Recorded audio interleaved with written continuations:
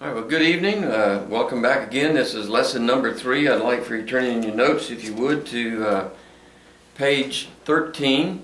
Um, at the bottom is where we left off. We were talking yesterday uh, in our last class about uh, Joshua and the message in Hebrews and how they are both are parallel truths. They were written in different dispensations, and obviously they were written to different audiences. The audience that Joshua was writing to was very different than the audience that the writer of Hebrews was communicating with.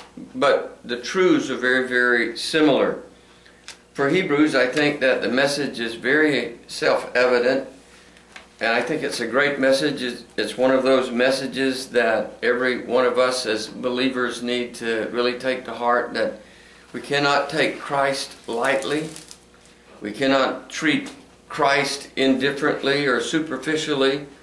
Uh, and it is this long term uh, uh, and abiding indifference and superficiality regarding a person's commitment to Christ, his commitment, uh, their commitment to his word, to his church, and all that kind of stuff that in my mind, it's just a personal opinion at this point, that in some ways reveals that that person may not actually be saved.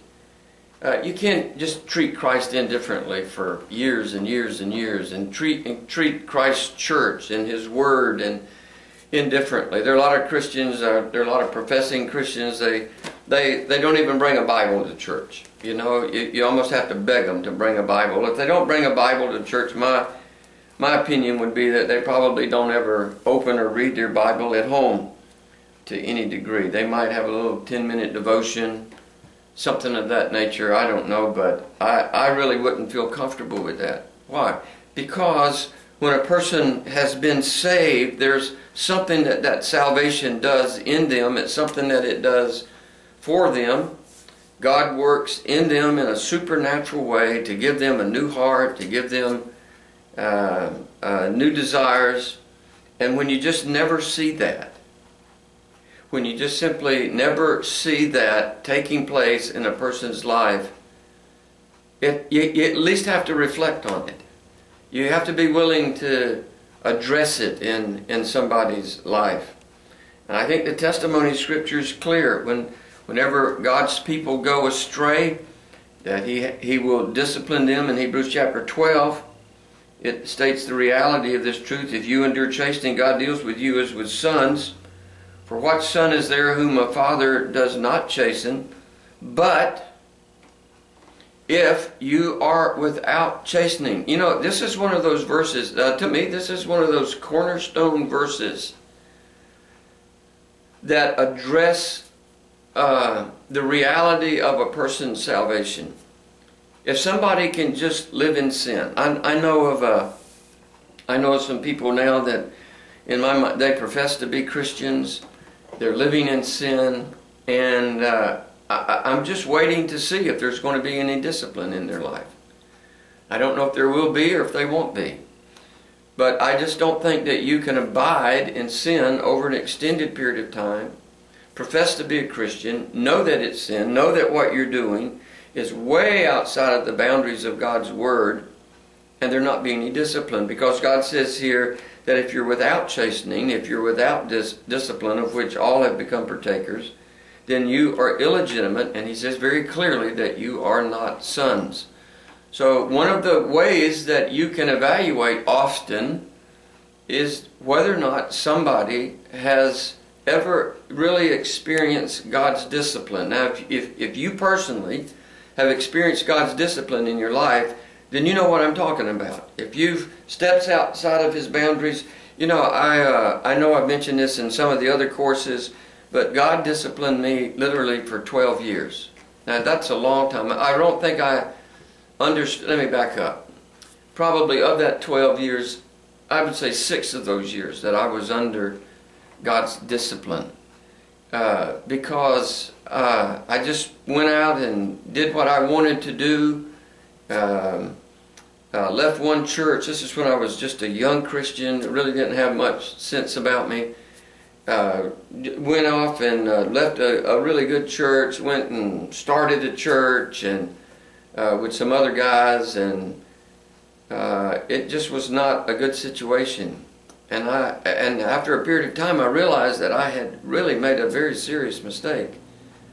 And the Lord just simply would not let me leave. He just would not let me leave where I was. I mean, I knew that. I, I wasn't going to make the mistake again. I prayed about it. I was, I, I, I was, uh, I was, spent a great deal of time in God's Word. I was teaching several times a week. I, I just, but it was a long time. It was a long time. I've never made that mistake since, and I'm not going to make it again. And the discipline was hard. It was, I did, I never enjoyed it. You know, there are different kinds of discipline. But uh, if, if you don't have any, when you're outside of the boundaries of God, it means that you are illegitimate and not actually God's son. I wouldn't be too impatient with people if God doesn't discipline them immediately. Uh, that's a good thing uh, for all of us that God doesn't just discipline us immediately. He gives us time to kind of what I could call to self-correct there, there have been plenty of times in all of our lives when we've been outside of God's will. We know that. We understand that. And God's given us some time. He's given us the option of being able to, what I, can, what I call to self-correct my life. That's a good thing. The Holy Spirit's working, the Word's working uh, in, in us, and, and we just make the corrections that we need to and get right back in alignment with God's Word. But for those people that never self-correct, um, you know, God's going to give them the opportunity, and if they don't do it, that eventually He is going to discipline. So I think the message here is very simple. Even though God is extremely loving and He's extremely patient with us, He's long suffering, all those kind of things, there's a limit as to how far He will allow a believer to live in sin without any kind of consequence. If we take the history of Israel, if there was anything that you learn from the prophets, it's that God was long suffering, it's that God was patient. Uh, I mean, these kind of things went on for years, decades really, uh, before God actually uh, actually disciplined them severely at, at, at the end there. But Scripture does not define what that limit will be, and I don't want to test that limit.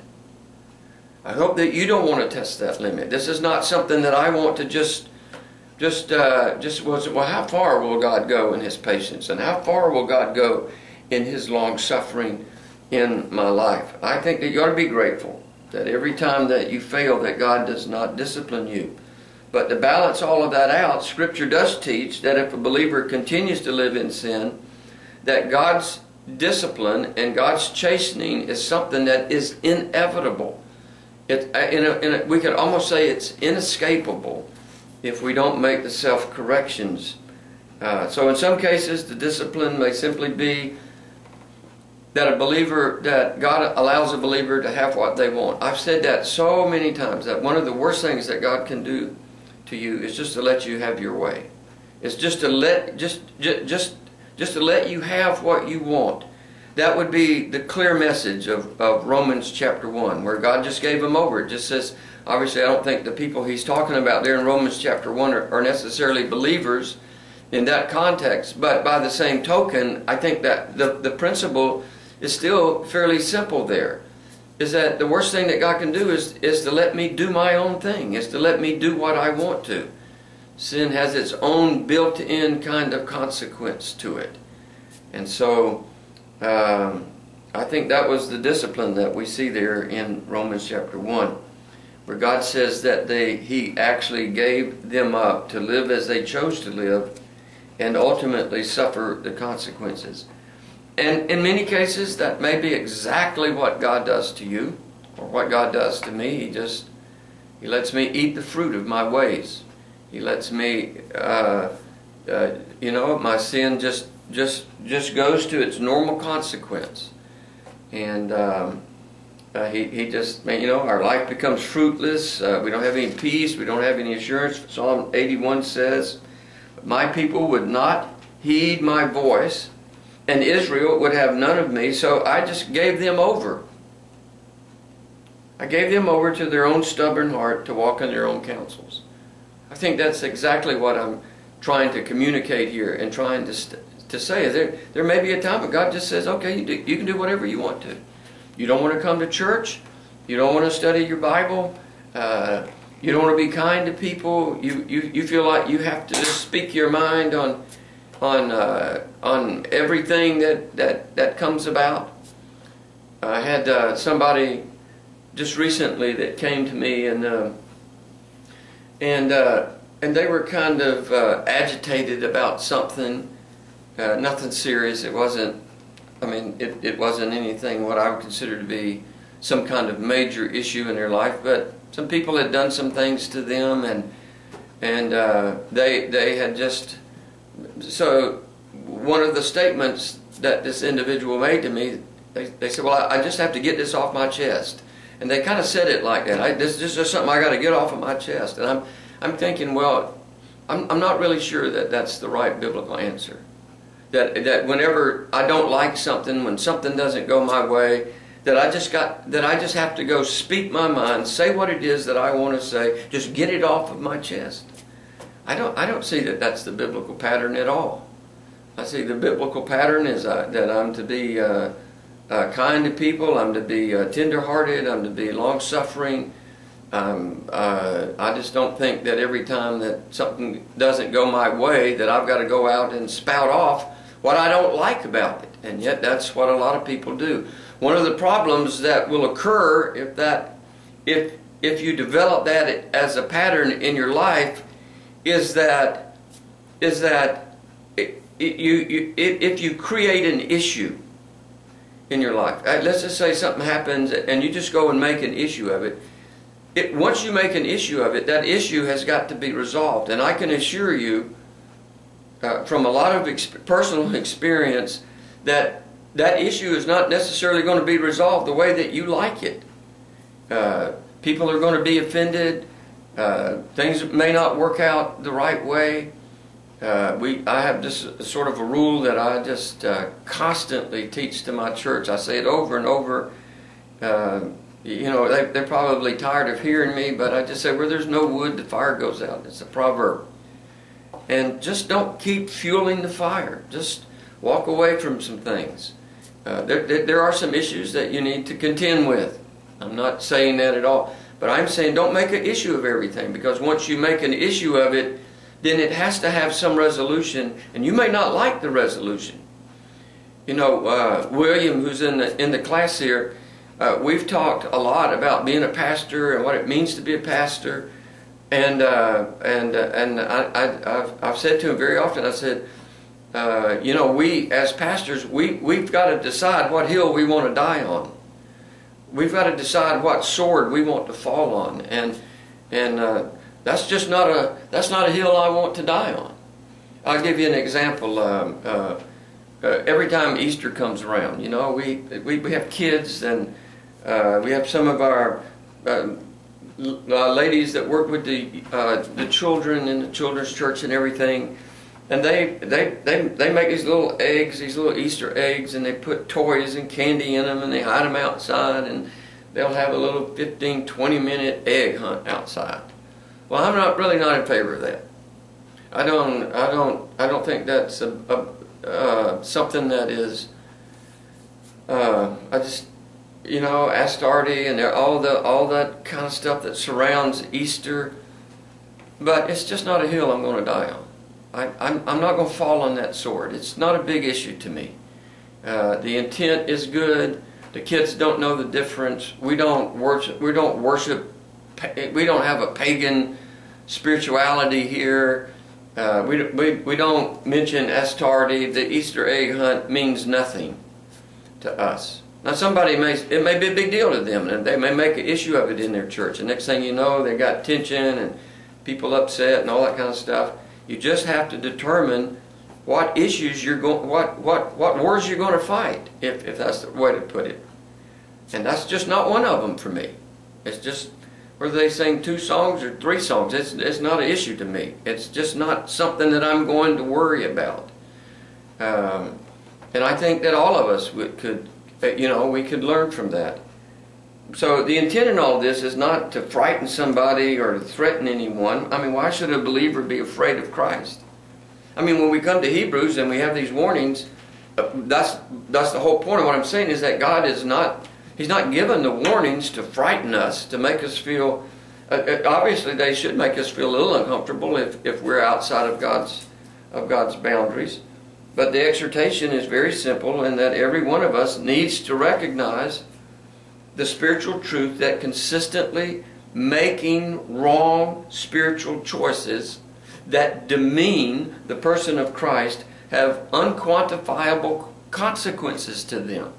Let's take, a, let's just say that uh, a, a, young couple in your church decides that they're going to live together, uh, and they're not, uh, they're not married, and so they're going to go live together with one another, and and yet they profess the name of Christ. Well, in my mind, what they are doing is that they are trampling underfoot. They, they would they would literally fall right into Hebrews chapter 10 there, where it talks about it talks about trampling the Son of God underfoot and counting the blood of the covenant. That's something that is sacred. Treating it as if it's profane. Marriage is sacred. The marriage bed is sacred.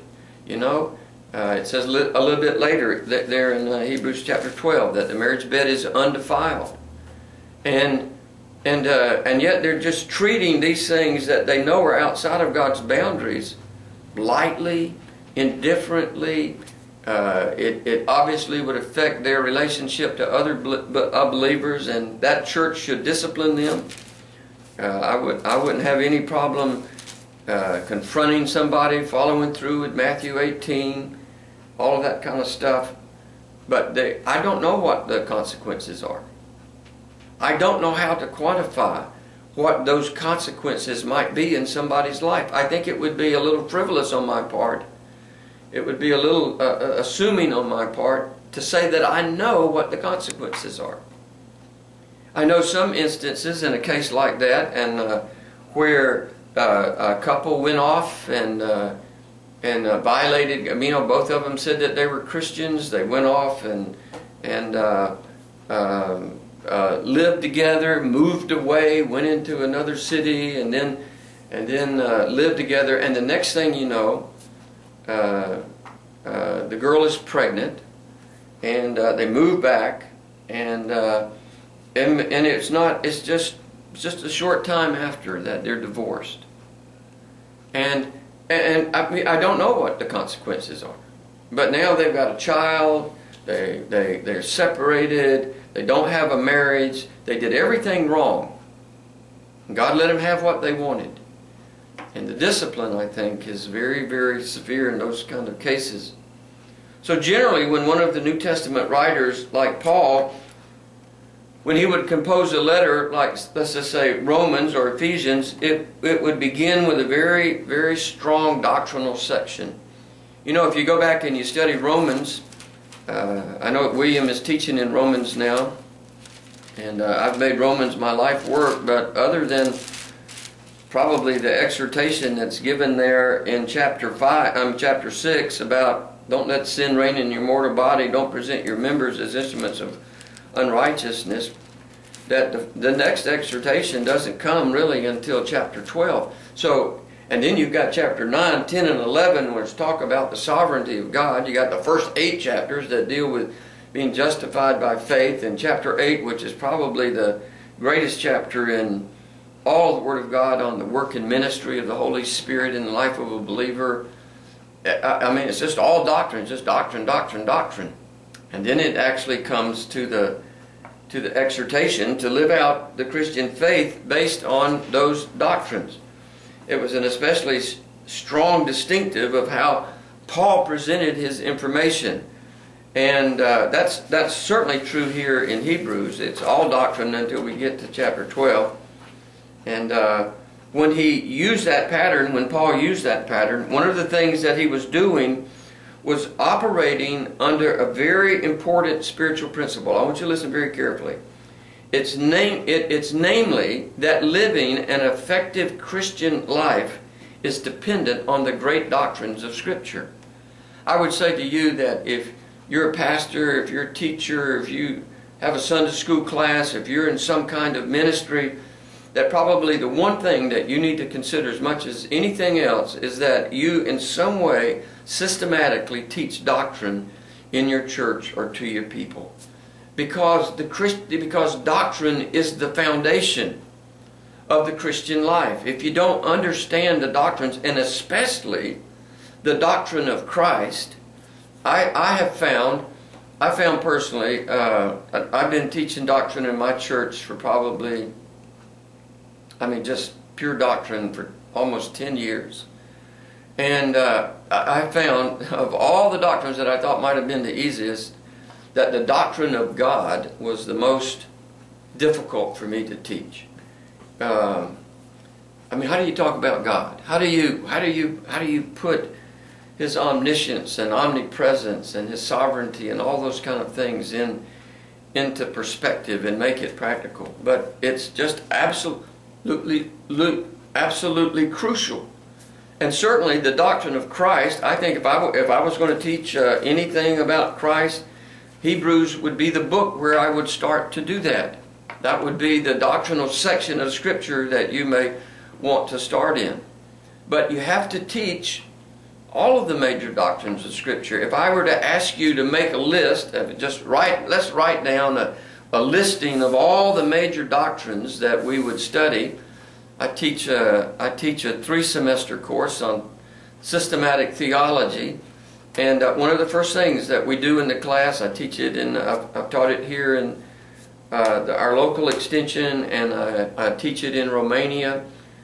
Um, it's a three semester class and one of the first things I ask the men to do or the students to do is to write down uh, what they consider to be um, the major doctrines of Scripture. And I'm, I'm always a little stunned at how, at how little they understand what the major doctrines are. I mean, there, it's obvious, there's some that are just obvious, okay? I mean, if we said we got the doctrine of uh, God, I would say that you really, you have to start as much with the doctrine of just the Bible uh, just the Word of God itself. But you got the doctrine of God, the doctrine of Christ, the doctrine of the Holy Spirit, the doctrine of sin, the doctrine of salvation, the doctrine of angels, the doctrine of the church, the doctrine of Christian life. It just goes on and on. There, there's probably 15 major doctrines that you, and then you can take some of those and break them down into things like the sovereignty of God, the incarnation, uh, the atonement uh, would be a major one um, uh, it, it just you've got to have a good understanding of those things. And for people that are not rooted and grounded, you know, I look, I, I, I, I don't say this arrogantly, uh, just please forgive me, adjust it if it sounds wrong. But when I look at the majority of Christians say that are in my church, that have been sitting under doctrinal teaching for a long time, I, for the most part, they're, they're all fairly mature. Uh, they uh, they can uh, they understand the scriptures. They can uh, they could debate with you on different issues. Uh, debate probably not a right word. They could dialogue and communicate with somebody uh, on major issues. I think they would certainly know what to say in leading somebody to Christ. Um, they they they have good strong families. They're teaching their kids. And I think all of that's related to doctrine. And yet you can go to some other churches, I've been involved in them, and and and and you never study doctrine and the Christians in those churches normally are very weak. They don't have a because because they're they don't they're not they're, they're not grounded in certain doctrines. I, I think doctrine is much more difficult to teach. It's much more difficult to to teach. It's a little more cerebral. You have to think about it more. You have to you have to work at it. It's it's you can't just it doesn't uh, in in a lot of cases uh, uh, trying to figure out how to apply something. Let's take say the doctrine of the incarnation. How do you apply that? Uh, you know, when Christ became the God man, what what is the how does that apply to my life? I would say that for me, that the incarnation and the sovereignty of God are the two most important doctrines in Scripture, bar none. I would include the atonement in those, that, that work of Christ, and that's certainly what we're going to look at here in in, in, in Hebrews, but the sovereignty of God is just a governing principle. It's just a governing doctrine. And if you don't understand that, then you're not going to, your life, uh, you're, you're going to struggle in your Christian life. And if you don't understand the doctrine of Christ, you're going to struggle. You're not going to follow Him. You're not going to be, you're not going to be consistently uh, committed to Him and to and to His ways and to and to who He is. And so these, you know, this the it's like uh, if if if these things are true, then this is how you and I are are to live. So in reviewing Hebrews, I think there's a very similar pattern, but it's it's it has an obvious difference. There's this great doctrine, this tremendous doctrine on the exaltation of Christ it's about the high priestly ministry of Christ. You'll see that as we go through this in the next couple semesters. And it permeates everything that the author is writing. Everything. It just saturates. It's just like it's just like filling a sponge with water. It just gets saturated with it. And that theme, that theme of the high priestly ministry of Christ, of exalting Christ. Now you just have to think about this for a minute. Because these Christians are being persecuted. These Christians are living under intense suffering. They, many of them have lost everything. I mean, that's the historical record of what has taken place with these Christians and how much they have lost in their life. And and and and you would just think, well, the the the, the guy that's writing this, their pastor, whoever he was, that he was he was he'd be trying to encourage him how to get through all that. And he has a few verses on it. Uh, there's not a lot. Uh, he, he actually warns them more about falling away than he does, uh, th than he actually encourages them in, in, in, the opposite direction. I find that to be, you know, when I, I've studied this now for such a long time, I, I'm, I'm just, I'm still kind of stunned by that.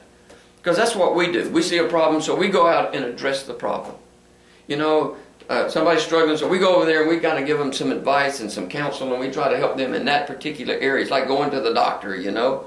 They hardly ever treat the, the cause of what has happened to you. They they they just they just uh, treat the symptom, and that's what we kind of do in Christianity. We're always just treating the symptom, and and and but what's in, what this writer does is that he he just keeps exalting Christ. He just keeps lifting Christ up. He just keeps taking his person and his work and placing it before those people and, and there are difficult things going on and he just keeps exalting Christ in that.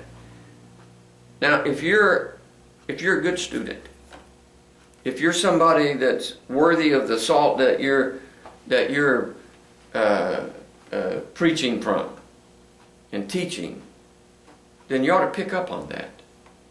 You, you ought to just see that somehow as you read through, as you meditate on, on these passages. And so, these exhortations and this, the, the, the, doctrines, they're just kind of interwoven into one another. If you went to Ephesians, first three chapters on the church, and the next three chapters are the practical exhortations of it. Uh, if, you know, uh, but it's not that way in this book. It, it, it's very, very different from the way that Paul kind of addresses the other books. That's why, you know, there are a lot of people think Paul wrote this. I, you know, uh, who knows? Who knows? It's, it's, not even good for us to speculate. Uh, God doesn't tell us, so we're not, so we're not going to worry about it. But I know that Paul addressed that when he writes in a lot of his other books, uh, letters, not necessarily all of them, but he, he's very doctrinal to begin with, and then he has very practical exhortation. There's very seldom, I'm not saying that he doesn't at times, it's very seldom that he integrates the two. He may have an exhortation in a section, but for the most part, if you went through and you and you just marked in your Bible, sort of like I do, the exhortations in a in a book, uh, the imperative commands, whatever they are, you, will find that most of them are separated into a different section. It's not that way in Hebrews. It's just not that way. Everything is kind of integrated until we get until the last chapter and a half, until till he comes there and then it's just like he's just kind of running out of time and he's just telling us a lot of things that we ought to do. And they're kind of connected. You'll see that when we get to Hebrews chapter 13. That's a long time from now though. So there are, there are large sections of scripture on the person of Christ. If you just took Hebrews chapter 1, that's an example and it's it's generally following them. There are some uh, immediate exhortations and warnings associated with what the writer has to say. That's why there's so many therefores through the document. There are actually 28 therefores. Uh, you know, the way that I, I say it is that you got to ask, you know, what's the therefore, therefore? But one of the things that we know about a therefore is that it's always pointing us back to what's been said. Every time that you read a therefore, like if you go to chapter 2, verse 1, therefore, well, he's given this, this great exaltation of the person of Christ, talks about his throne, calls him God, and he says, therefore, you, you got to give earnest heed. And so what he's, the exhortation is based on the doctrine that he's providing there in, in chapter 1. And so there are approximately 16 specific teachings, specific different teachings throughout this book that exalt the person of Christ. There are over 40 specific exhortations, and that does not include the warnings. So once again, it's important to see how the author actually views what he's written and what he sees as the primary purpose of his letter. He says in chapter 13, verse 22, right there at the end, I appeal to you, brethren, bear with the word of exhortation. And I don't think that he's talking there about the final exhortation that he's giving them in chapter in chapter 13. There are 25 verses in chapter 13. There are 21 exhortations in that. Nine of those are in the imperative tense. So um, he's talking about this entire letter. It's his word of exhortation to them. Um, and so uh, the, the particular word there for exhortation is the Greek word paraklesis, from where we get the word uh, paraclete. It, it's the word that's used for the Holy Spirit, someone that comes alongside to, to help you and to comfort you. And it's an intensely intimate word and when it's translated to represent the Holy Spirit, it's sometimes translated as comforter. So you just got to think about this. He said, I appeal to you, brethren, bear with this word of comfort, uh, uh, this exhortation that I'm, that I'm giving to you. So the purpose of Hebrews is intended to bring about great comfort and great encouragement to the readers they're not words that are designed to frighten them. There are a lot of Christians, when they get to the warnings, they, the warnings frighten them. You know what the warnings do for me? Uh, uh, let's just take one. Let's take one and say in chapter 3, verse 12. Uh, just You can turn your Bibles there. Beware, brethren, lest there be in any of you an evil heart of unbelief and departing from the living God. Well, I'm encouraged by that. And you can say, well, why are you encouraged by that, Gary? Well, the reason that I'm encouraged by that is because because I, I don't have a, a, a heart of unbelief.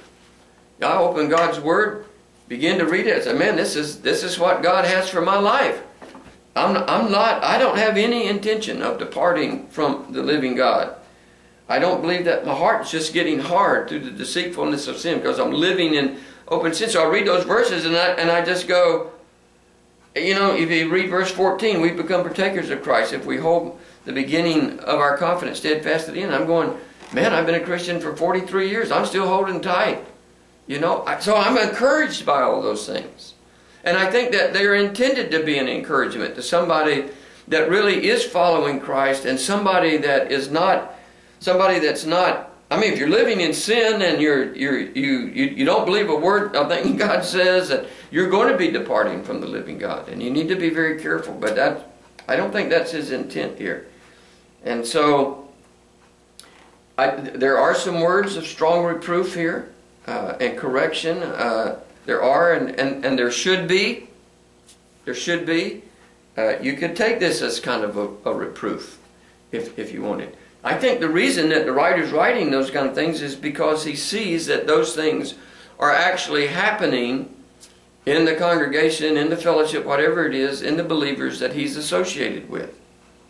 And so the consequences once again, um, uh, if, if, the, if, if, if these believers have understood the author's amazing teaching and exaltation of Christ, uh, uh, then the personal consequences of their decisions have strong ramifications. I would say good or bad.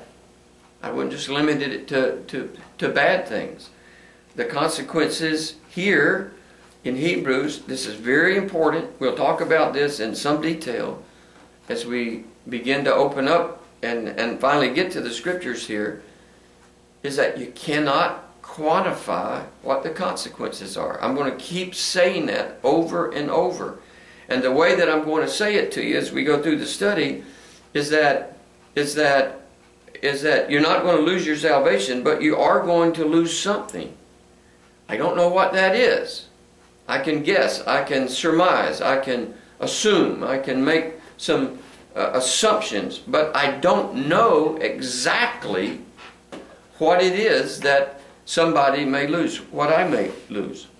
The following, I think, uh, is the magnitude of the consequences in Hebrews, and it should be observed that they're more general in nature than definitive. You can follow along there as I read them. The consequences are that a believer might drift away in Hebrews chapter 2, that they may not escape in Hebrews 2 and Hebrews 12, that their hearts may become hard, that they may fall, that they may find it impossible to be renewed again to repentance, and that they may experience some form of punishment there in Hebrews chapter 10. That's it. That's it. But for me, it's, it's still impossible to actually know how to quantify the magnitude, the actual magnitude of the consequences with just those few statements. Uh, you, you might could add a few more to it, uh, that'd be fine, but I'm just making the point that the writer doesn't tell us what the consequences are of not following Christ. He just says that there are consequences.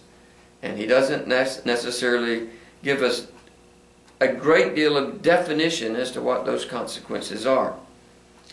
Often I have to travel, uh, I have to go to uh, Knoxville, Tennessee. And uh, I have to travel on I-40. We leave, uh, we go up to Asheville and then we go over to Knoxville on I-40 there in North Carolina.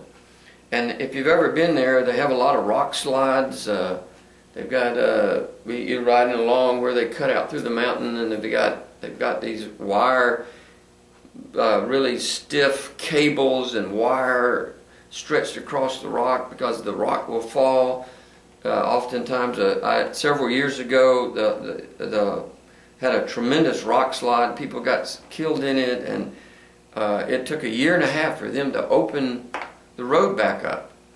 Uh, it was a very, very, and the, the, the road is very curvy. It goes through the mountains. It's got a couple tunnels uh, in it, and uh, uh, it's a it's a four lane road. You know, got a median in the middle and all that kind of stuff. And they have a lot of uh, very important speed limit signs. The trucks go up and down that road. It's a it's an interstate. It, there's sharp curves. There's steep inclines. But the warning signs, everybody listen. The warning signs, they just say steep, steep, steep incline. They just say uh, sharp curve. They just say uh, uh to slow down, speed limit. But none of those signs on that very kind of dangerous part and segment of the road is probably a, an hour's worth of driving on there. That's very, very, I'm nervous every time I drive through there. None of the signs, not a single one of them, tell you what the consequences are going to be. It just says, watch out for falling rock.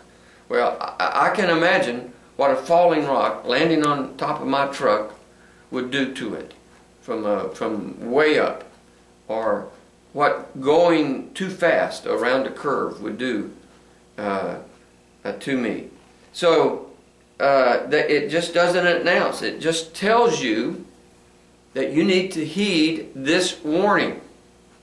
You need to do what this warning says. You need to slow down.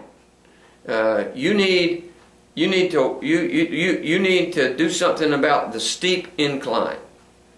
Um, they have these runaway places where the trucks can run off if their if their brakes give out on the on the steep incline. So the signs only give the warnings. But what is clearly understood is that in every warning there is an implied danger that is part and parcel of that warning. It, they're telling you just because it's a yellow sign, it's, it's got words on it, they're telling you that there is a danger that is ahead if you don't heed the warning. And that's exactly what the writer of Hebrews is doing. He wants his readers to understand that there are implied consequences with the warnings that he is giving. Uh, there are dangers in not heeding God's warnings for their life. How God actually administers his dis- discipline is different for every person. You may be a wonderful Christian. You may you may have been a pastor for 40 years. Uh, you probably, if you've been a pastor for 40 years, you probably wouldn't be taking this course. But let's say, let's say that you're a young person, uh, a young man, and you, you've, uh, you got a job, you got a family, you're going into the ministry, but you've been just a, a wonderful, a wonderful uh, a Christian brother uh, for all your life. Uh, William, who's here with me in, in the class. Um, He's been a Christian almost all of his life, been a wonderful Christian, has followed the Lord, has always uh, gone to church, uh, studied God's Word. He's very um, uh, conservative, very uh, um, knowledgeable of, of, the Word of God. It's evident if you are around him. Uh, and so, how God may discipline him may be very different than how God would discipline somebody that had been a Christian for the same amount of time, but had just always ignored God's word, had been completely indifferent to it, just just uh, lived in sin, and had not done what God wanted. You know how God is going to discipline an individual is up to God. And for me, just as a Christian, I think there are a lot of factors that enter into the kind of discipline that God will would would uh, would provide in somebody's life. Uh, I just think I just I think some people that the discipline wouldn't you know all of my children are different. I have three children. I have I have six grandkids, and all of them are different. Uh, you know, when I was growing up, my my oldest son he responded to discipline just like that. I mean, just I, I could just look at him wrong, and uh, he would respond. He would be responsive. He would he would he would correct his life. Uh, uh my daughter was stubborn as a rock. I mean, they're just two years apart, and she was just as stubborn. I, I mean, I, I, you just you felt like she wasn't listening to you sometimes. And then my, my, my third son, he was completely different. He was sort of in between them, you know. Uh, we're, we're all different. And so the way that I disciplined one sometimes was a little different than how I disciplined somebody else. I mean, one of the other children. All my grandkids are different. Um, they're very different. I have uh, I have one little grandson, and bless his heart, he just he struggles. He just really struggles. And uh, I have a, a, granddaughter, and she's just as she's just as gracious and as passive and as obedient as she could possibly be. They're just night and day difference in them. I, I don't know why the differences are. You know, they come out of the same families. So how God might discipline somebody is based on what God knows it will take to correct that person's behavior. You know, I would, I would hope, I would hope, I, am not going to say that I would, and I hope that you would. I, I would hope that if God had to discipline me in some way, that I, I would be very responsive to that, that it wouldn't take just weeks and weeks and, and months for God to get my attention on something uh, I, you know, if, if I if I was ugly with somebody and and said something that I shouldn't have said, hopefully I won't do that. That it, it wouldn't take long for God to get my attention, to know that I had to go back, I had to seek somebody's forgiveness, I had to say what I needed to say. uh, I had to do what I, I had to do it in the right attitude. I needed to be Christ-like. You know, God's always developing Christ-likeness in us. Every circumstance that we have, He's always developing Christ-likeness in our life. So the writer is not challenging here. And I want us to appreciate that. He's not challenging every little sin that somebody may have committed in their life. He's not doing that at all. That's, that's just not Every one of us sin every day, you know, every, every single one of us. And uh, but he's he's what he's challenging is what he sees in his congregation or whatever it is, these people that he's writing to, this tendency to move away from the things of God. Now, I've been a pastor long enough that I can see the tendency when somebody starts moving away from the things of God you can just you just see it. You know, they they they don't pay attention in, in, in church much anymore. They fall asleep. Uh, sometimes when they fall asleep, I just get louder. no, I'm just kidding. But you know, they just they just uh, they just drift. You know, they they used to come on Wednesday night. I I remember a lady in my church. Uh, uh she uh, I, I I, had led her to the Lord, uh, or, or, thought I'd led her to the Lord years ago, and and for some reason, just she was very faithful. She came to every service. Uh, she, she, was attentive. She would ask questions, and the next thing I know, she just she's just kind of drifting, and and uh, I talked to her about it a couple times. just just tried to be pastoral in my relationship to her, and next thing I know you know, she's coming to church twice a week rather than three times a week. Next thing I know, she's only coming once a week. Next thing I know, she's she's gone. She found something to complain about, and she's gone. Well, it was something that I could see. I could see that that was the inevitable result of, uh, of, of, of whatever was going on in this, in this lady's life. And I think that that's what this writer sees he sees this tendency that some of these people had that they were going to forsake Christ, which he obviously considered to be a very, very serious violation of Scripture. So Hebrews not only tells the believer that they have to press on, but it explains a little bit uh, as to how that is to actually happen. Here's how you press on. See, now, the answer that I'm going to give you is not the answer that people want to hear. They want you to give them a set of rules. They want to give you, uh, you know, you know, 14 things that they can do.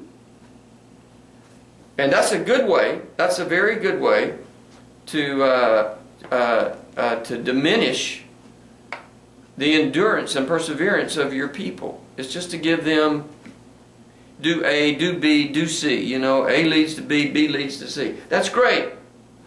That's great. I, I do that often, but not much. And the reason for that is, is because we press on through the surpassing greatness of Jesus Christ. Here's the way I say it. You can't be godly without God. You can't live the Christian life without Christ.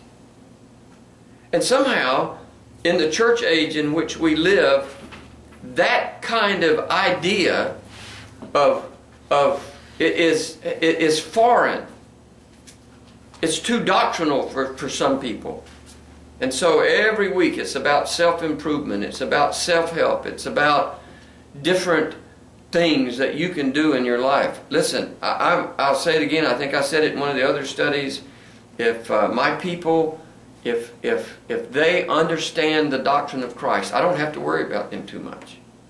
I don't have to worry about their walk and their, their relationship to Christ and their relationship to other believers and their faithfulness to the church and their commitment to the things of God and whether or not they, they have a heart for discipleship and for, and for evangelizing. I don't think I have to worry a great deal about that if they understand Christ, if they understand the doctrine of Christ. But I think that we in the church, you know, I've said it this way, I, I may have said it earlier, is that I think there are a lot of people in the church that don't like Christ that much. it's like they've heard him about him all their life. They heard all the stories and all the Bible stories and in the Gospels, and and they're just kind of bored, and so they want you to give them something else. My tendency is is I just want to give them Christ. I, I'm not saying that in a superficial way, but I want them to understand Christ. I want to keep pressing that issue that they have to develop and maintain a personal relationship with Christ. I have a I'm very I'm very structured in my life. I'm very structured in how I go about my day. I, am a I'm a note guy. I, I, I, I take notes. I have I have notebooks. I have multiple notebooks. I have different kinds. I have journals. I, I get up in the morning early. I study. I, I mean, I just read, uh, and I'm, I'm constantly writing down.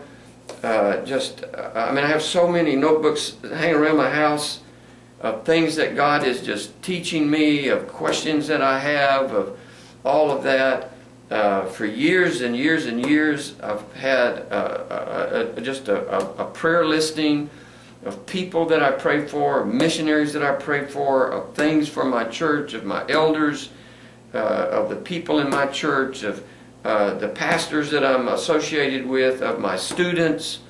Uh, just, just, I just something that every day that I know that I this is what I'm going to spend my time on. And but part of all of that is that is that every day I spend time in God's Word and I want to draw close to Christ.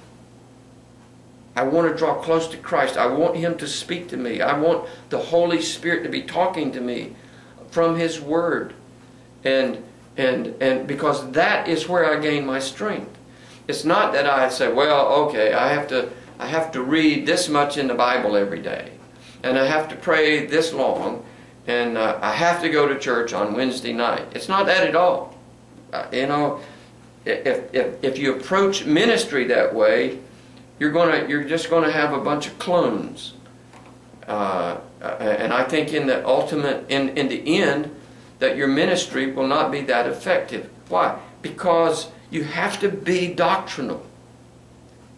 Uh, I say you have to be. You should be doctrinal in your content. Yes, William. Pastor Gary, I think it's kind of what you're saying is uh, that in Hebrews they lift up, the writer lifts up Christ in spite of their difficulties. And Paul did the same thing in Romans chapter 5. He said, We have peace with God through our Lord Jesus Christ. We have access into grace, something in which we can stand on. We rejoice in hope of the glory of God. And then he does the same thing. And not only this, we exalt in our tribulations. Hmm. So the greater our view of Christ, really the smaller our problems, no matter if there's death, no matter what. And James, I think, would say the same thing. Yeah. So I think we do our people. No, that's a great point. It's a great parallel. A great disservice when we we always want to get out of the problems. We always want to do everything we can. And I, I mean, we're sympathetic, and mm. uh, certainly with our Absolutely. people with ISIS and throughout mm. the. I mean, something like that, where they're losing their lives. We're, I mean, we certainly have compassion, and nobody wants to see that. But at the same time, when we understand who we are in Christ, how great He is, what all He's done for us, we can even glory in our tribulations, and, and that's what Paul tells us to do.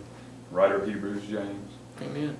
I mean, I mean that's a that's a great parallel. I mean, what Paul is saying there in Romans five, because he's had he's had four chapters of just pure doctrine about being justified by faith and having peace with God and and uh, he makes the parallel there. Just I think in probably the same way that this author does. Right. And he gives the next exhortation there in chapter six, but from there on it's still doctrinal, you know, especially six and seven and Holy Spirit and eight. It's a great point. Great point. I haven't seen that, but I think that's a very a very good parallel there. So our point is is that we is that we press on through the surpassing greatness of Christ. It's not in our own strength, it's not in our own energy. If we're left up to our own resources, we are in trouble. We're in trouble. We're not we're, we're going to have trouble living the Christian life apart from Christ. And so they press on in the same way that those in Hebrews 11 pressed, uh, pressed on. We'll, we'll get to that great chapter by faith. In Hebrews 11, the term by faith is used 18 different times in that passage, and everything in the Christian life has got to find it's it's got to be grounded. Uh, the decisions that I make, my lifestyle, uh, how I utilize my resources, uh, uh, how I expend my time, uh, the focus of my life, the goals of my life, all of those things have got to be founded and grounded in something that's solid. It has to be in the person and the work of Jesus Christ. And, and I'm going to say to you, just in, in a general way, it ought to be obvious, it ought to be evident, it ought to be something that you already know in your heart. You ought to go, yes, uh, when I say this, but, but Christ is the only foundation that we have. The Word of God, obviously, but everything is built around Christ. Everything in the Christian life is built around the person and the work of Jesus Christ. And the more that you say, if you're in a place of ministry, the more that you exalt the person of Christ. I, am not, you know, it's not like every week you got to preach out of the Gospels. You know, it's not that at all. This, the whole New Testament exalts Christ. You go to somewhere like Colossians chapter 1, my goodness. Uh, you know, it's that's in, in, in, in, chapter 2. Those are two amazing chapters on Christ. Um, and and the work uh, uh, William's just talking about in, in, in Romans, it's, it's about his work. It's about the work of Christ. I mean, it's, it's faith in something. In, in reality, it's faith in someone. And, and, and, and but the, my, my, my point is, the statement I want to say is that the more that you personally, in your ministry, find a way to exalt the person of Christ, the more people are going to be drawn to Christ. If you get into all of this kind of cultural Christianity that we have, of, uh, you know, trying to help meet people's felt needs and, and all of that kind of stuff, and all of this um, uh, entertainment mentality that we have, uh, you're going to find very quickly that your people are going to fall out of love with Christ and not in love with Christ. They're going to be in love with the church. They're going to be in love with the ministry. They're going to be in love with, with what, the, what God can do for them.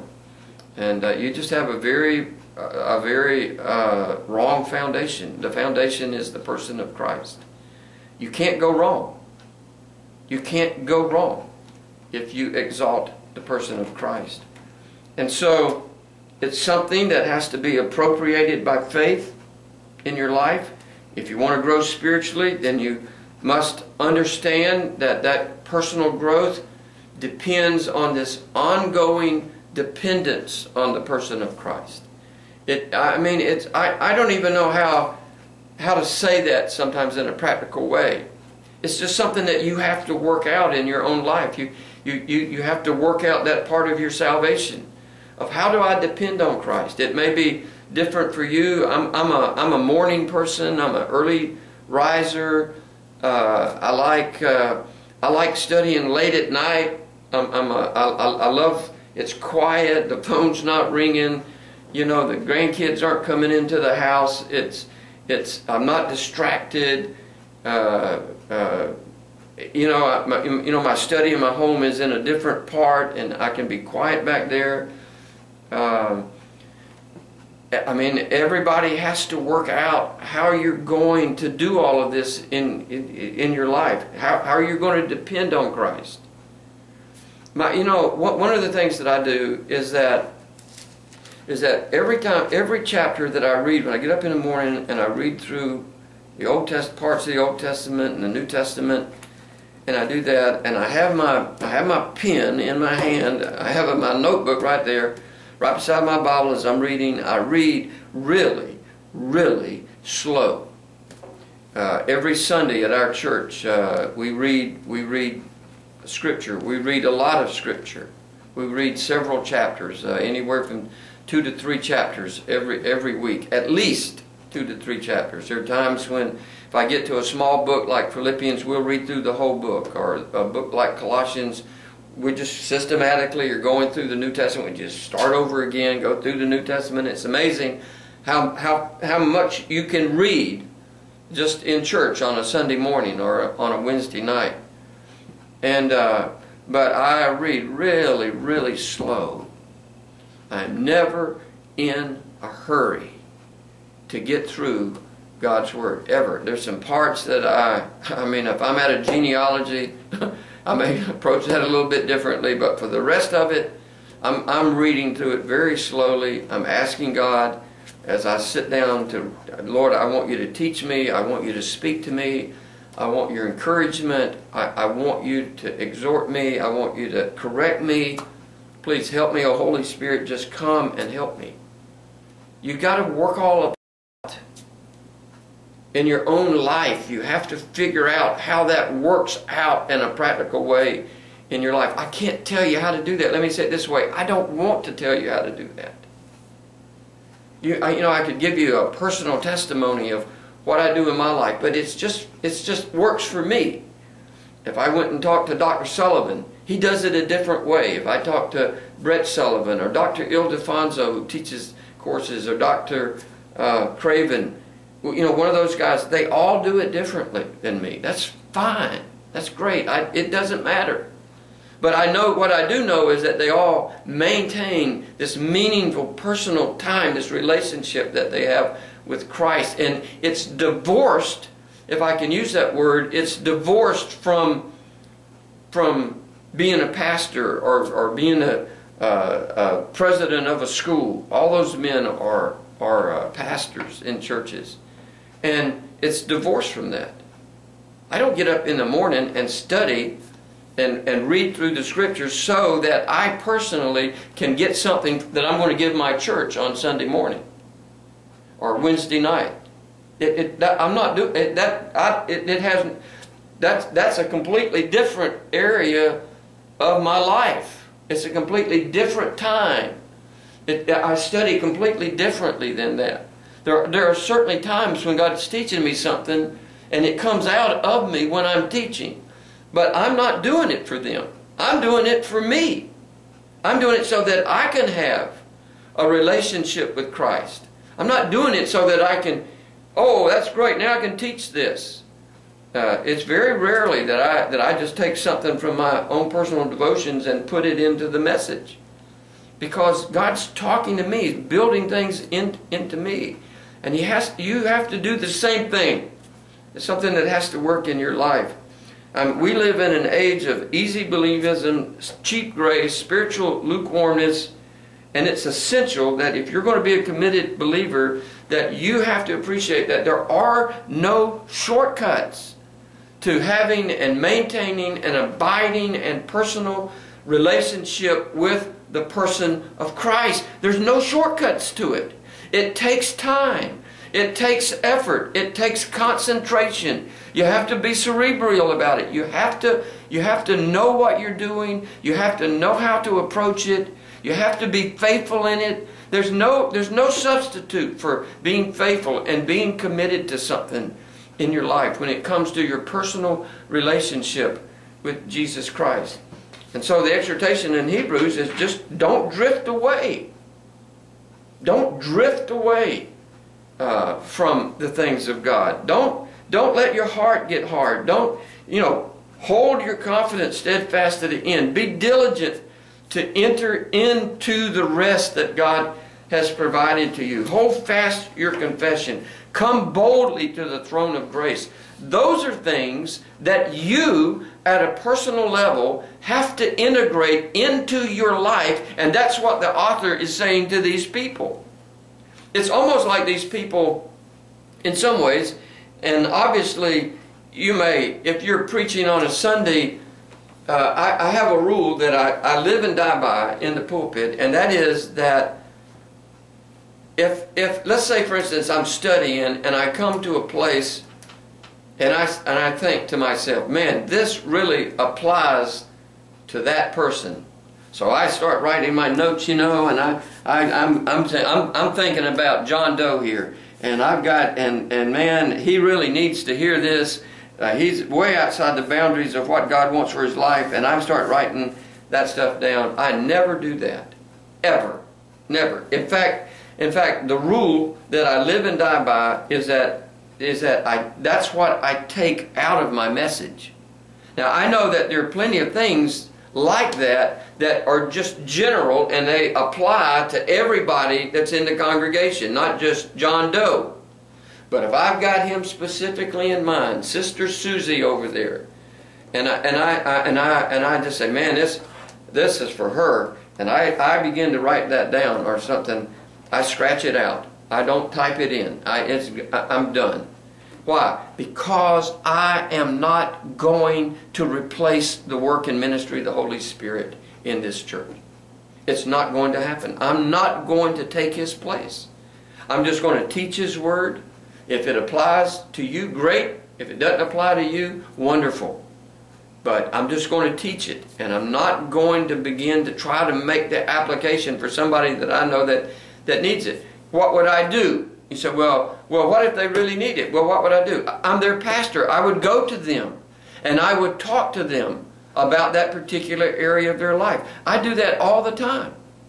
I have a relationship with my people where I can talk to them about their personal spiritual walk. I have one brother in the church that he just uh, he just struggles at times with different areas of his life, and uh, he'll call me. We'll talk and I, I'll communicate to him very clearly the essential things that he needs to know in his life. There have been plenty of times where I've reproved him, I've corrected him.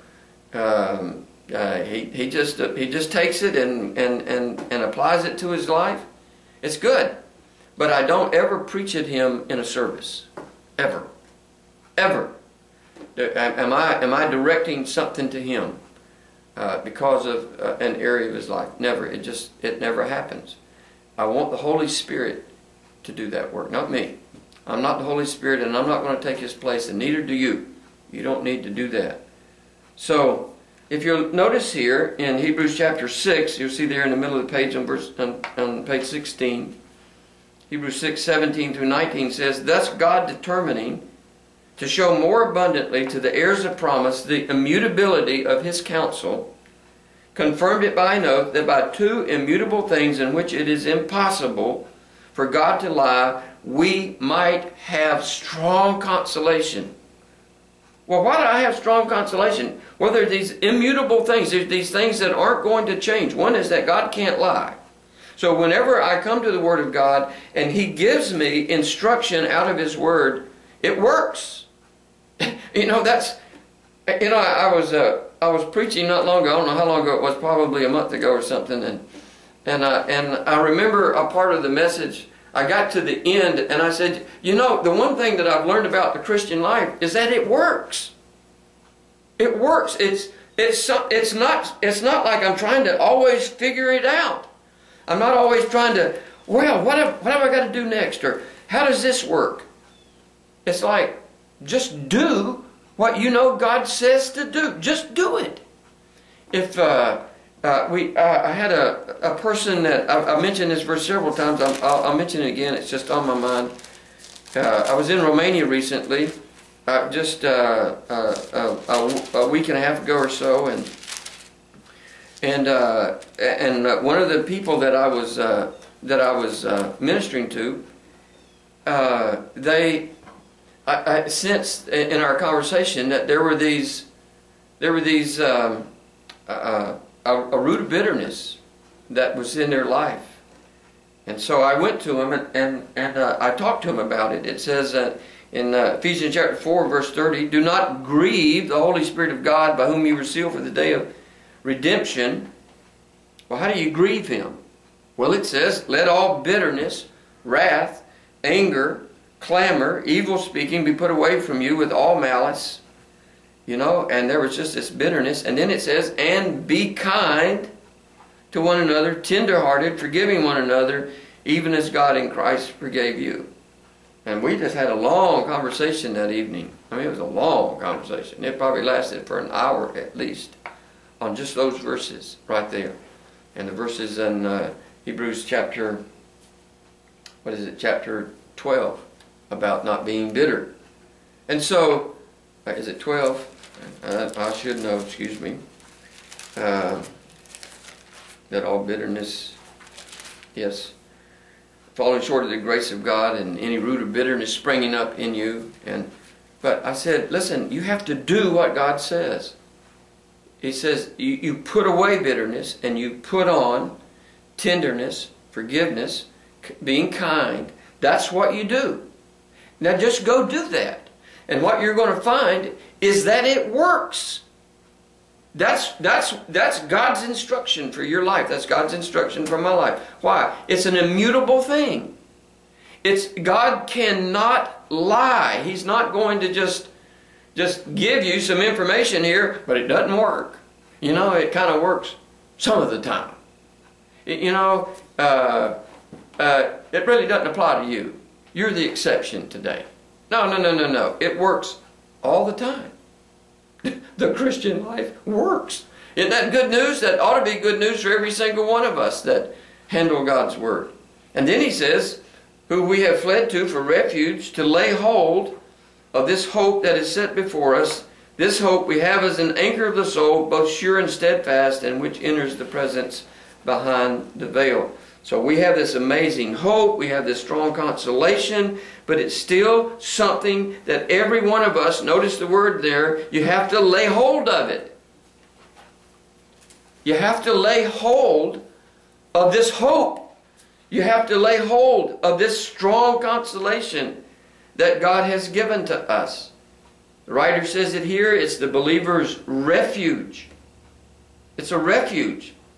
And it's both sure and it's steadfast.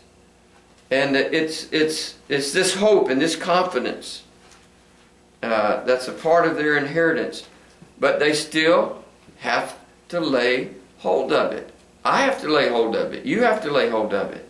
And that's why there's such a large exhortation, I think, in Hebrews 11, 11 that we are to live by faith. The Christian is to live by faith. The ESV and the Amplified Bible translates Hebrews chapter 6, verse 18 this way. Listen carefully. So that by two unchangeable things, in which it is impossible for God to lie, we who have fled for refuge might have strong, uh, strong encouragement to hold fast to the hope that's set before us. The Amplified says, This was so that by two unchangeable things, His promise and His oath, in which it is impossible for God ever to prove false or deceive us, we who have fled to Him for refuge might have mighty indwelling strength and strong encouragement to grasp and hold fast the hope appointed for us and set before us. And that's what you and I have to do. We have to we have to figure out what it is that Christ has done for us and given to us, and we have to hold on to that. We have to grasp that. We have to hold fast to that particular truth. Now, there are two major types of passages here in Hebrews. Number one is that there are those passages that deal with the exaltations of Christ, and there are those passages that exhort us. I think uh, some commentators would, would include uh, the warnings. It's a major part. But the warnings are just normally just one or two verses. They're not like um, they're not like long doctrinal teachings on, on an area. I would include the warnings as an exhortation. That's just a personal thing. It, you, you, can you can divide it differently if you want to. It's not a it's not a critical thing. But in my mind, there's the exaltations of Christ, and then there, there, there are the exhortations that come from, from, that, exer, uh, from that exaltation. And they are just interwoven, that you can't divorce them from one another. Uh, he exalts Christ in such a way that it's always demanding from us that we follow Him, that we be committed to Him, and it's because of who Christ is that the readers here are exhorted to persevere in their faithfulness. They are uh, to persevere in their fervent appeal uh, that has produced the theological tension in the letter. And, and, that's, a, that's a really a great point here, is that what the warnings do is that they create this tension in the letter. Uh, you, if you read any of the commentaries, I probably have 25 or 30 on them. If, if, if, and that's not counting the electronic forms. If you read if, if if you read it there is this tension that's created by it's almost like these warnings uh, chapter 3 chapter 6 chapter 10 chapter 12 chapter 2 they all they they all create when you're reading along and you're like wow this is really great and all of a sudden you come to this warning and it creates this tension in the letter. So the pattern here is that the writer integrates, inter, intersperses these exhortations within the doctrinal teachings on Christ. And I just want to repeat, I'm, I'm repeating myself here. I think it's important, it's important uh, to understand this overall context of Hebrews before we ever get into it. Is that is that he intersperses those uh, he, he takes the doctrine and the exhortations and kind of joins them joins them together.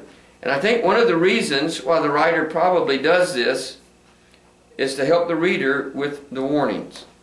I think I think that's why he does it.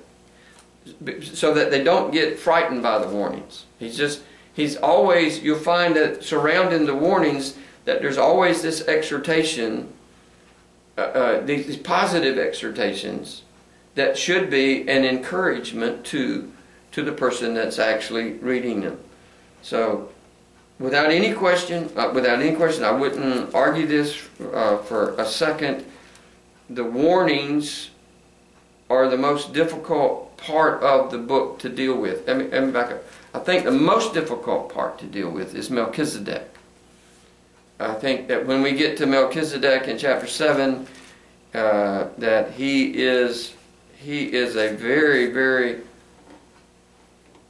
mysterious figure in the scriptures, and uh, it's quite a challenge to, to, to go through that chapter when when we get there. But the warnings are probably from the overall perspective the most difficult portion of the book, and the exaltations are the richest and probably the most honoring of Christ found anywhere in the New Testament.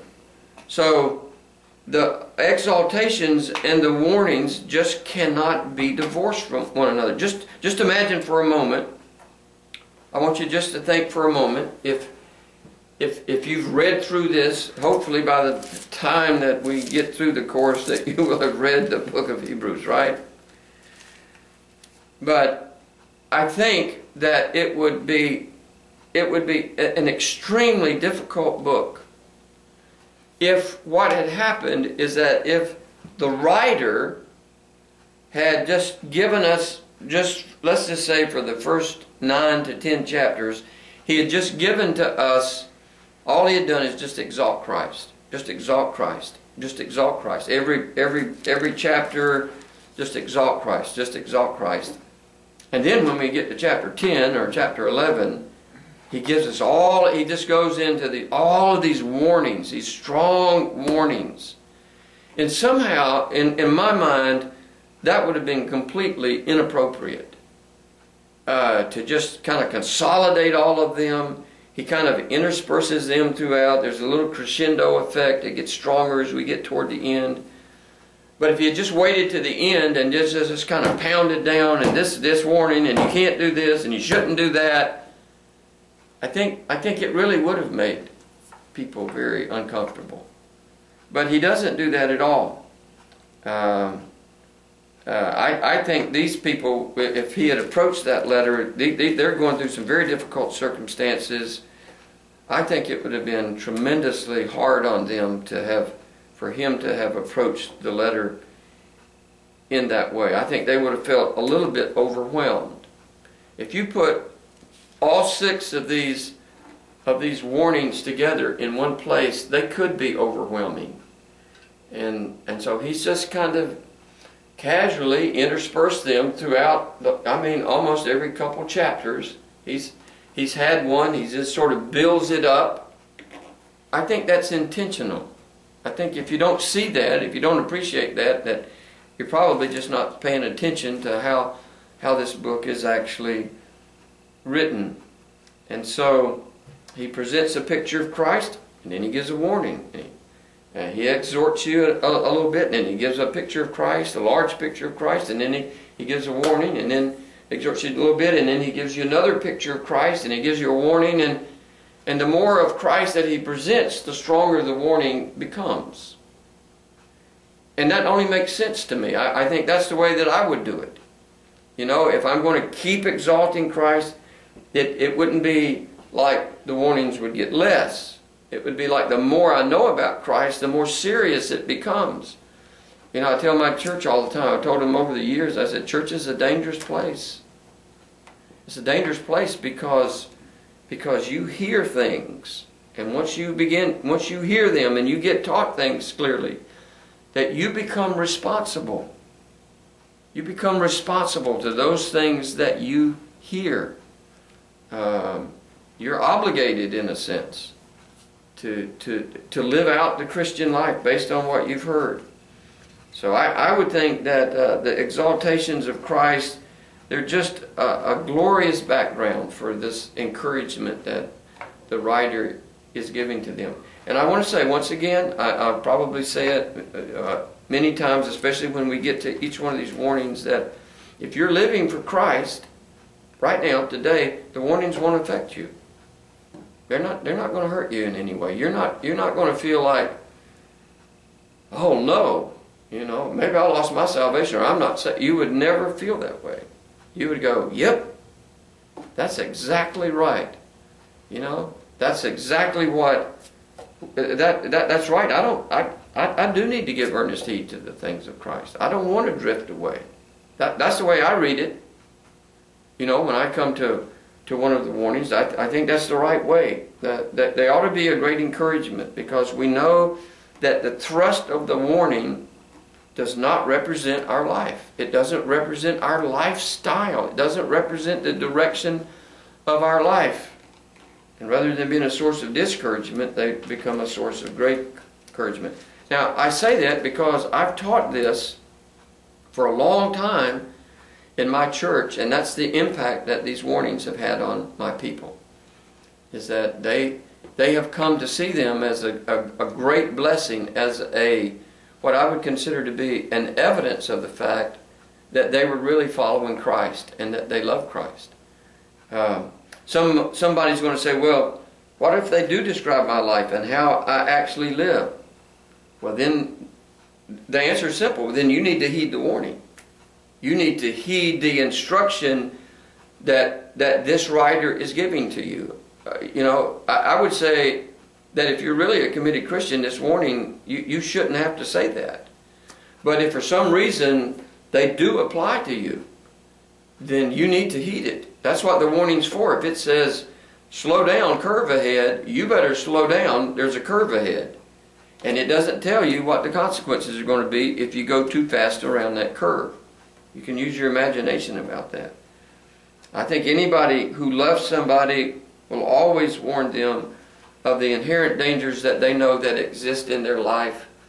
Uh, you know, I have a granddaughter and she's getting ready to go to college. She'll graduate from high school this year and she's going to get ready to go to college. And the other day, uh, I took her and my wife out to eat, and uh, we, we and the whole time that we were in the, uh, uh it took us about uh, probably uh, almost a half hour to get to where we were going, a half hour to come back.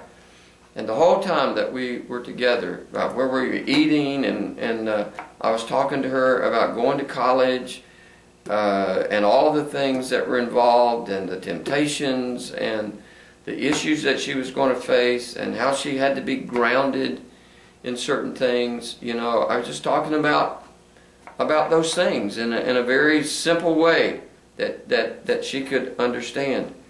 And so, uh, one of the one of the uh, uh, a couple of years ago, there was this family in my church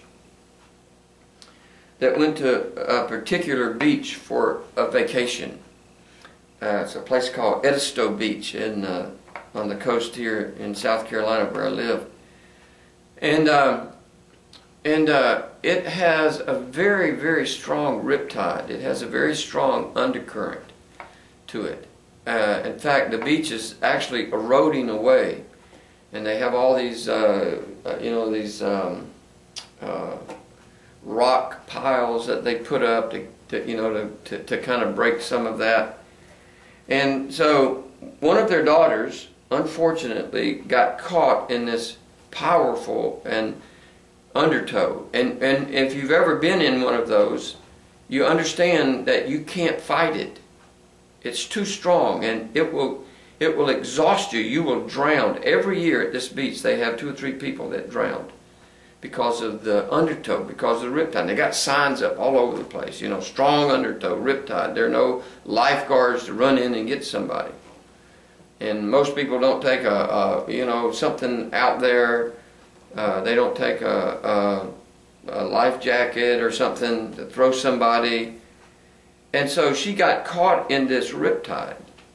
And all of a sudden, her parents and her sister realize that she's out there and she can't get back in. Best thing to do is just just to float down with it, and it will eventually give out. And and and uh, man, next thing I know, they go tearing out there. I've heard the story a couple times, and they are they are just and they get caught in it. And the wife, the mother of the, the child, she looked, she got beat up. When she got to church the next time that uh, uh, when they came to church that weekend she had bruises all over her face. The the young girl had bruises all over her where they had where the the the, the, the just the struggle that they had was so strong and uh, they barely they, they they they barely made it back and uh, and you know what happened you want to know what happened you, you want to know what the point of that illustration is is that they didn't heed the warnings. They didn't listen. They didn't pay attention to the sign. I guarantee you, when they go down there next time, they go down there every year, when they go down there next time, that they're not going to get caught in the riptide. They're not going to go out too far. They're not going to just drift out there. And uh, so the warnings are there not to harm you, but to help you. I think it ought to be recognized that even though the gospel calls on the unbeliever to believe in the Lord Jesus Christ to be saved, that once someone is saved, it then calls on that believer to persevere in the faith, to persevere in the things of God. And so I think the issue is really very simple. It's, it's essential that a believer's behavior matches what the gospel requires of those who believe. Everybody, everyone has reasonable and legitimate expectations of other people uh, who serve in various capacities. I, I have expectations of my wife. My wife has expectations of me.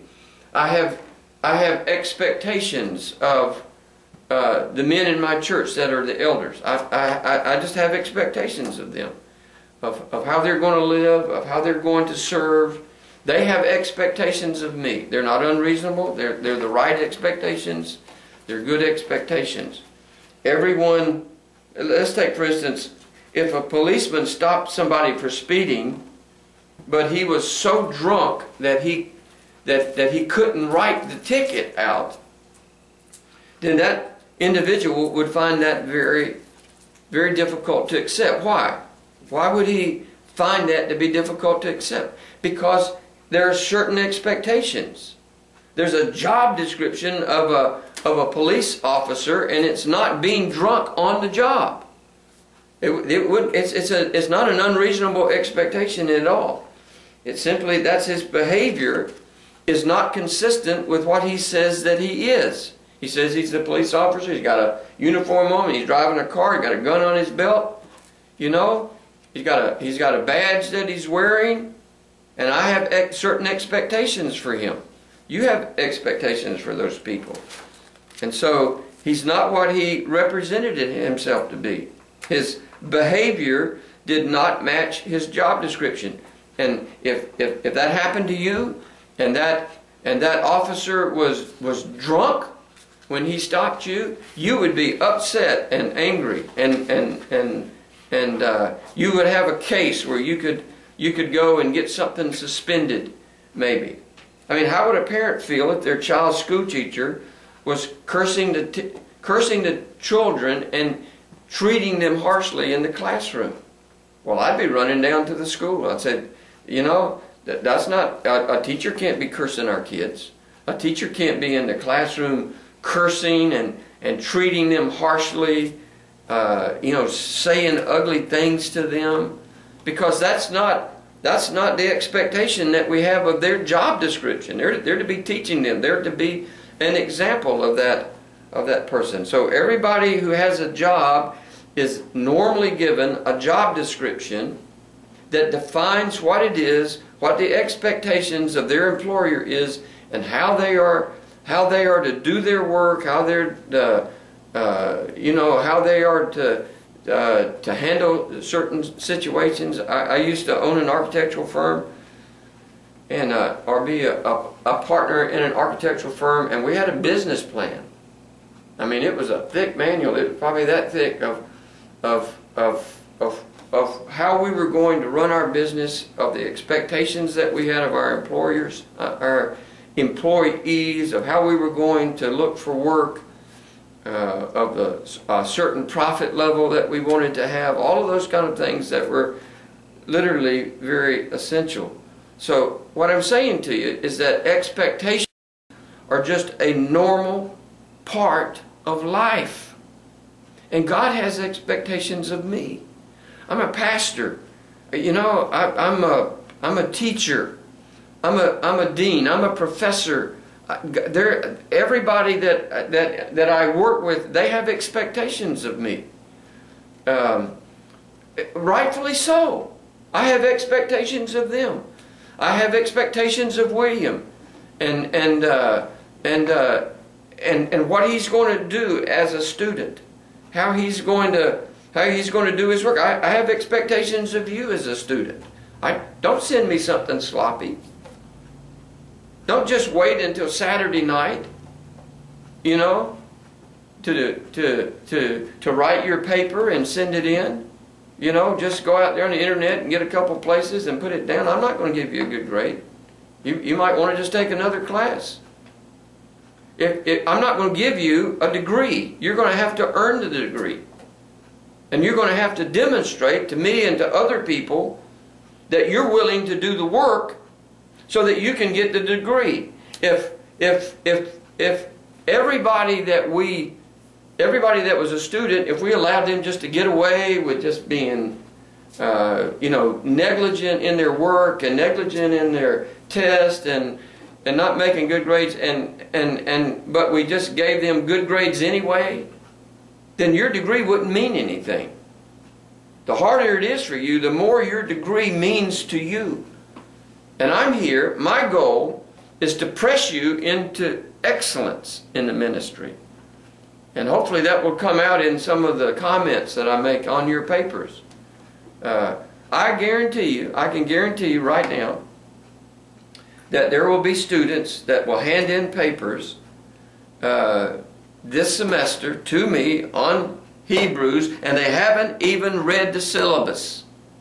They haven't read the fact that I don't want them to use I and me and we and you and they and all these personal pronouns. We're not having a nice conversation. It's a research paper. It's a technical paper.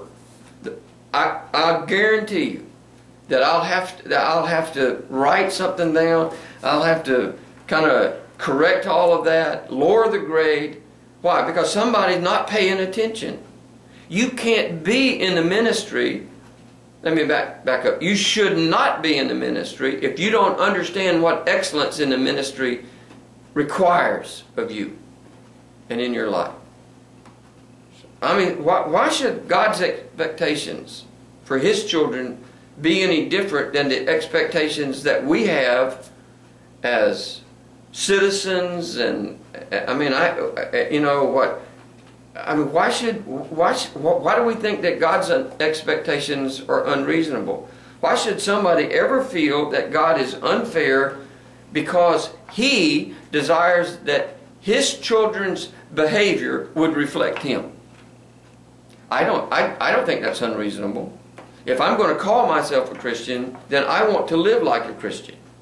And everybody that calls on the name of Christ that doesn't live like Christ, it's, it's a demeaning thing to the person of Christ for them to do that. As a pastor, I, I represent the church I serve. I'm, I'm an official representative of my church. And and all of my members, all, all of the members of, of our church, they have very real, legitimate expectations of me. They have very real, legitimate expectations.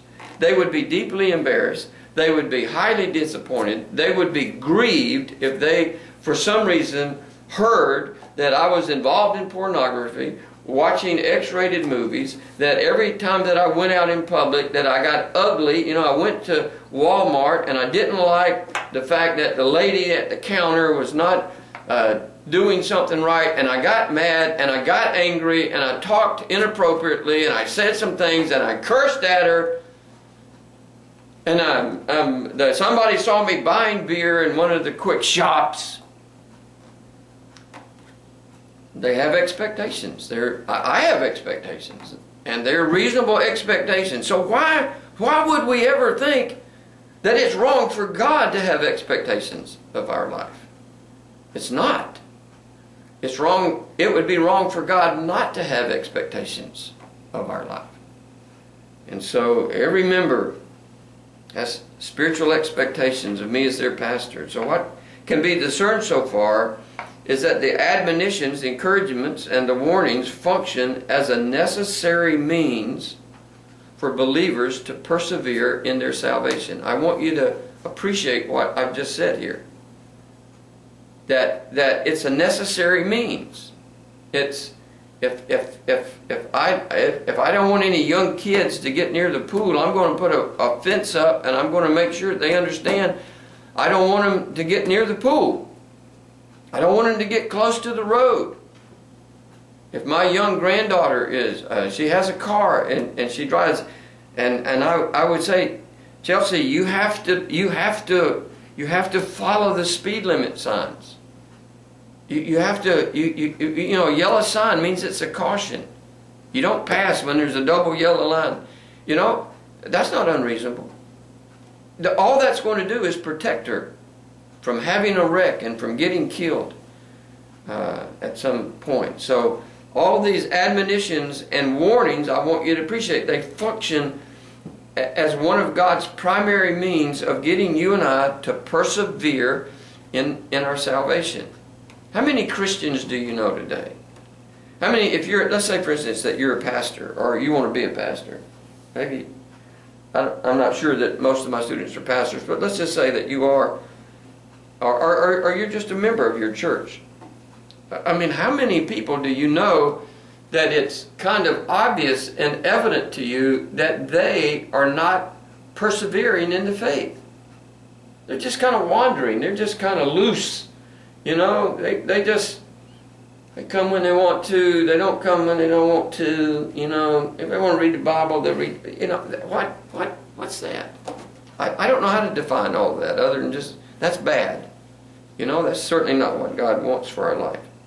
So there's a lot to gain, there's a lot to lose by not heeding the warnings. And for the believer, it's, it's not a loss of salvation that's in focus here. And that's a major point because if you read a, a good number of the commentaries, you're, they're going to say, at some point, they're going to say that this this war warning here, maybe not this one, but this one is talking about losing your salvation. We're, we're, we're not talking about losing salvation. This is really more of a book about sanctification.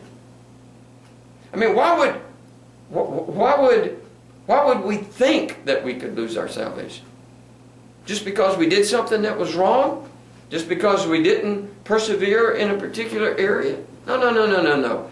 I mean, if you don't understand the doctrine of salvation, then, then it will be an issue to you. To me, those people that promote that, to me, there's something about the doctrine of eternal security that they don't understand. I would, I would say, and, and forgive me if you're a Pentecostal or holiness or Church of God, I'm not I'm not directing this at you, but I know that the majority of the doctrine, say in a Pentecostal church, on the fact that you can lose your salvation, which I think is a very uh, uh, that's it, it's it's not a proper doctrine from the scriptures that they base a lot of their doctrine on these warnings. I mean, we'll get to the warnings. Mean, we're going to go over each one of them in detail, but they base the fact that you can lose your salvation based on these doc, uh, on these warnings, and I would say that the warnings have nothing to do with losing your salvation. They do have something to do with losing something. What that is, how to quantify that, I don't know. I'm not even going to try. The scriptures don't don't try, and so I'm not going to try. But I know that there's something to lose. Why would you want to lose something? Why would you want to lose God's grace in your life? Why would you want to lose God's peace? Why would you want to lose personal rewards that are going to be compounded out into eternity? Well, it may be something about Christ that you don't understand. You know? You just you're not in love with Jesus. He doesn't mean that much to you. And so you can just live indifferently and casually uh, as it relates to these things. And so I think a major part these, these warnings are a scriptural way of identifying, uh, of identifying the reality and the genuineness of a, of, a, of a person's confession of Christ. And a major part of the privilege of being a follower of Christ is the the, the specific responsibilities that go along with the Christian life. Uh, I, I, I, it's a badge of honor to me it should be a badge of honor to you if you're going to be in the ministry that you are a student of the Word of God.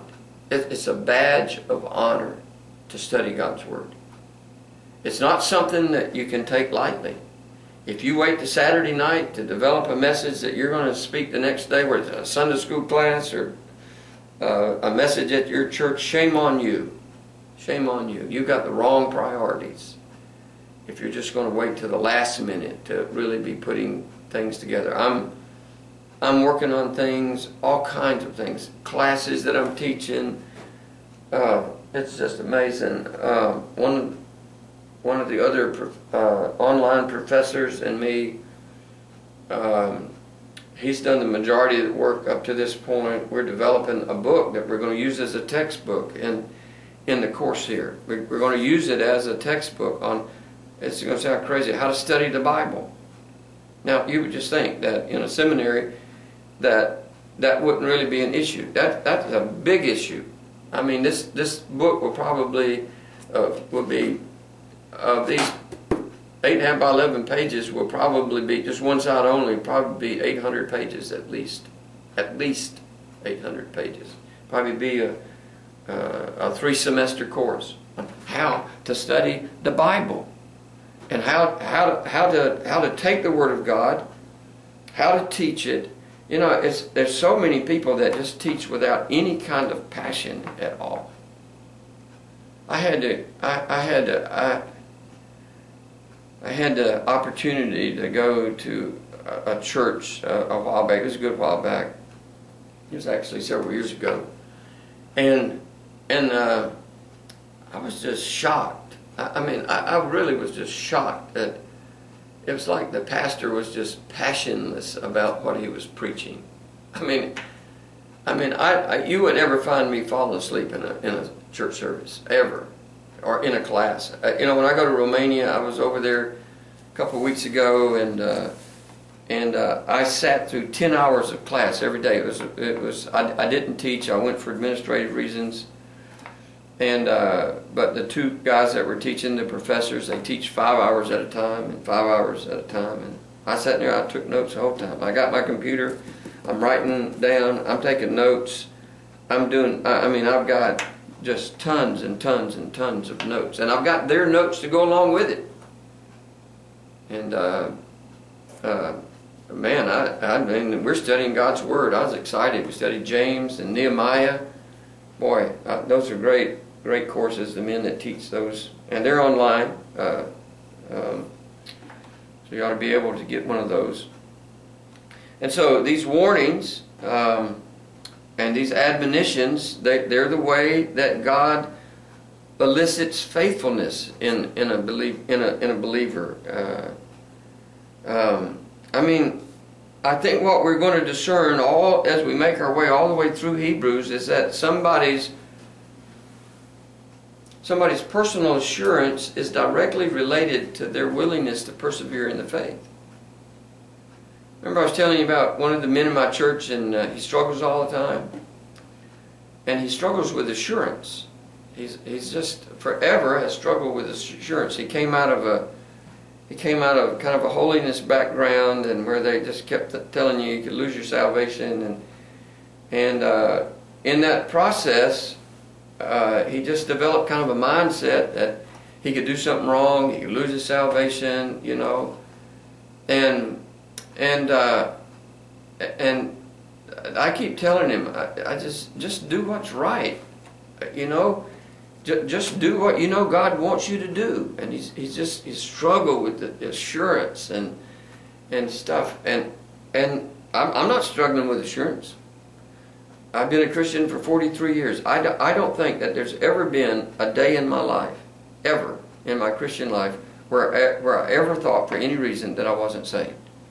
There have been plenty of times when I've done something that was wrong and something that I shouldn't do, but I was grounded enough, even from, uh, uh, uh, uh you know, when I was an early Christian, I was still grounded enough to know that salvation was eternal, and and I've been living for Christ, and I, it, it, assurance is just not an issue for me. I'm going to die and go to heaven. It's just a done deal. It's over. It's complete. It, it's a fact. It's, it's, it's not something that's debatable. It doesn't just keep coming up in my mind. Uh, the enemy just just cannot tip me in that particular area and get away with it. And so uh, there, there's something about persevering and running the race. And for those believers who do not take God's scriptural calling on their life seriously and who live in a way that's unbecoming to Christ, they're, they're never going to have assurance. Ever. They're never going to have assurance in their life. If you're living in sin, if you're just if you're not willing to commit your life to Christ, if you're not willing to do what He says, if you're not willing to be obedient, I, I, you're not going to have any assurance, and I'm probably not going to give you any. You know, um, so I think a lack of assurance is, is, is very often a direct byproduct of an ungodly lifestyle. There's something in your life. There's some sin in your life. There's something in your life. That's not always the case. I understand that the scriptures are clear that at times that there are there, there's what they call a weak brother. I mean, the scriptures talk about uh, a weak brother. I, have known weak brothers. Uh, we had a, a, young man that uh, that lived with us for uh, almost two years, and uh, he, he was um, uh, he was a weak brother. That's all I can say. He just he, he just was a weak brother. I, uh, he was kind of weak mentally, and and uh, but he was a wonderful brother. I loved him to death. I mean, he was. Uh, we our family loved him. He was a he was a great guy, but he just struggled in some areas at times. Paul talked about the relationship between his behavior and his assurance in 2 Timothy. He said, I fought the good fight, I finished the race, I've kept the faith. Well, what does that mean? Well, that means he's fought the good fight, he finished the race, he's kept the faith. And he says, finally, there's laid up for me the crown of righteousness. He, he had this direct association between how he lived and his assurance. He said, God has laid up for me a crown of righteousness in his life. Paul's words reveal that there's this connection between his life and his assurance. There's fought the good fight, finished the race, kept the faith, and a crown of righteousness. And he was confident that he had lived in a way that exalted the person of Christ. I think a problem that a lot of Christians have is that they only think of salvation in the past tense. I was saved. We were saved at some point in time. But the New Testament never stops there. Salvation is portrayed as being threefold. We have been saved, we are being saved, we will be saved. There are three different aspects to it. Uh, you know, I think we would use different words. We would use words like salvation, sanctification, and glorification. Okay, those would be kind of the biblical terms that in some way would differentiate between these three things that are happening are going to happen in our life relative to salvation. There are a lot of people who claim salvation, but they have no perseverance in the things related to God. They, they just simply do not have any perseverance in, in, in the things of God. They don't live in a, in a way that exalts the person of Christ. And all that they've done is that they have embraced the past tense of salvation. They just embraced, well, I got saved back then. But there's nothing in their life today to reflect that that salvation was even real or meaningful in their life. They've just embraced an event. You know, when my kids were growing up, uh, and, and we were very evangelistic with them uh, just from a very early age when we taught them the scriptures. But I told all of them, every single one of them, I said, you know, you can say, you can make a profession of Christ, you can confess Christ at this point in your life if you want to, but there's going to come a time in your life where God is going to test the reality of what it is that you say that you have. He is going to test, He already knows whether your salvation is real or whether it's not real. You, you're the one, the reason He's going to test it is so that you can know whether your salvation is real or whether it's not. And so, the people who've only embraced the past tense of salvation, but they've not embraced the present and they've not embraced the future aspect of salvation, these are individuals I think that are they they are for, forfeiting a very crucial element of, of biblical teaching that has practical consequences of just tremendous importance and significance. You, you cannot leave. You know, I'm. You know, in, my Christian life personally, I'm. I'm. I'm excited about about what's going to happen in the future, and and about going to heaven. Uh, you know, I'm, I, I just, I'm not afraid. I, I don't, I'm not afraid of some of the places that the Lord's going to allow me to go. I'm going to go to some dangerous places for Christians. Um, I don't know what's going to happen. I, I, really don't. I mean, I just don't know what's going to happen. I, I hope everything work out great. But at this point in my life, I'm not afraid. I've been through cancer twice. And one of the things that all of that you know, it's one thing to have it the first time, it's another thing for you to sit in front of the doctor and he says it's come back much more aggressively the second time. And you kind of live with it every day, you know, it's, it's, it's like, it's systemic, it's something that doesn't go away. But what I learned in all of that, and I don't mean this arrogantly, it's just, it was just something that God helped me with as I went through it. It was kind of interesting. I had three other people in my church that we all kind of got cancer at the same time, and, and one of them died, and the other and, and the other two survived, uh, and are, and are doing fine, and I, and I, I believe I'm doing fine, and but I, I just I reached a place in my life where I knew that I really wasn't afraid to die. You know, I I didn't want to. I have a family, I have a wife, I have grandkids. I I want to watch them grow up. I, it won't be long we were talking last night about it be four or five years and my granddaughter be married. And we'll have some, I'll be a great grandfather, you know. I, am kind of excited about that if I, if I live that long. But I wasn't afraid. Uh, you know, when I, I got faced with that and I got faced with the, what could happen, it was like, hey, my, I, I don't have a salvation that just happened then and this is going on now. There's something, there, there's a salvation out there later and, and I, my hope is in that. You know, if I didn't have any hope for the future, I wouldn't be teaching this class. I wouldn't even be in church.